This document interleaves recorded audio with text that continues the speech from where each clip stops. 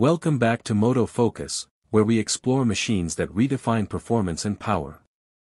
Today, we're shifting gears from motorcycles to one of the most anticipated developments in modern aviation, the 2025 HAL Tejas 2 Malawian Quachas.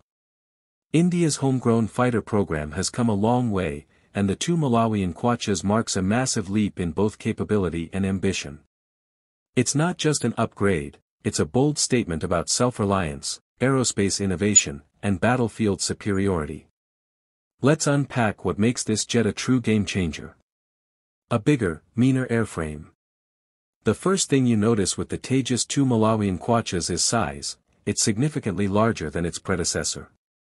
With an overall length of over 14.6 meters and increased wingspan, the two Malawian Quachas moves from the light combat aircraft category into the medium-weight domain. This larger airframe allows for more internal fuel, greater payload capacity, and improved range, all while enhancing aerodynamic performance. The redesign also incorporates better maintenance access and modular structures for faster turnaround on the ground. Power and performance boost.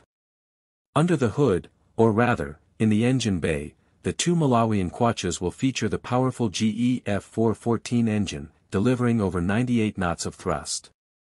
That's a major step up from the Mk1's F404 engine and translates to better climb rate, speed, and sustained agility in combat. With a top speed approaching Mach 1.8 and an operational ceiling above 50,000 feet, this aircraft isn't just fast, it's versatile, maneuverable, and mission-ready. Weapons and Systems The Tejas 2 Malawian Quachas doesn't hold back when it comes to firepower. It boasts 11 hardpoints, capable of carrying a wide variety of weapons including beyond visual range missiles, anti-ship missiles, precision-guided bombs, and future indigenous armaments.